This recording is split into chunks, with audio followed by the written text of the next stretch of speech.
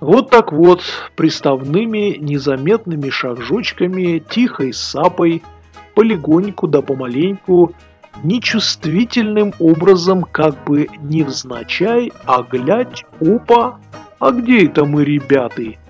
А мы, ребята, в военизированном государстве.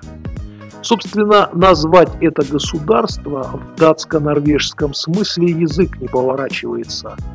Медицина Христа ради, вместо законов понятия, образование садовничье, выборы узбекские, территория толком не освоенная и малолегитимная. Сами себе на карте мира кусочки присваиваем. Спасибо гражданину начальнику, уточнил главное содержание жизни.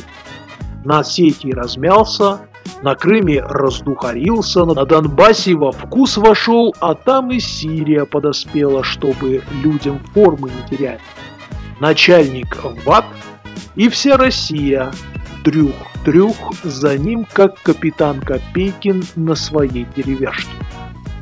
Тяжелый, наследственный, безнадежно запущенный военно-промышленный комплекс – Угрюмая, опасная, упрямо идущая нахер страна. Война, мать родная. Послание Федеральному собранию на треть про новые вооружения. Ядерный двигатель, огненный шар и лазеры. Этитская сила, дядя. Ваты в больницах нет. Какой шар, какие лазеры. Вата вообще-то есть, но она в головах. Все для фронта, все для победы. С кем воюем, дядя? За что воюем? Дай ответ. Не дает ответа, вызывая стойкое подозрение, что часть кокаина все-таки долетела до родины. Иначе откуда такая бодрость перед тем, как всей страной лечь плашмя? Эти новейшие системы нужны нашей стране, чтобы добиться переговоров с другими государствами. Дядя, ты сам-то понял, что сказал?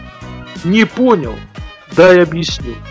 Ты сказал, дядя, что с нами из-за тебя уже никто не хочет разговаривать, что мы изгои по твоей 18-летней милости, и что единственный для России способ привлечь к себе внимание человечества – это схватить его за грудки, подтащить поближе к своей повестке дня и, подышав в лицо настоявшейся своей духовностью, поинтересоваться «Ты меня уважаешь?» Не уважают, дядя. Аккуратно изолируют и будут ждать, пока откинем копыта. Причем сделаем мы это сами. С тобой, дядя, и Пентагона не потребуется стирать мир в радиоактивный пепел будем, по преимуществу силами Останкинского телецентра, весело придумывая всей стране новые клички для коней апокалипсиса. Бездна, капец и пипец. Русь тройка куда? Да все туда же, канаву. Запрягай, Селиван, давно не ездили. Виктор Шендерович.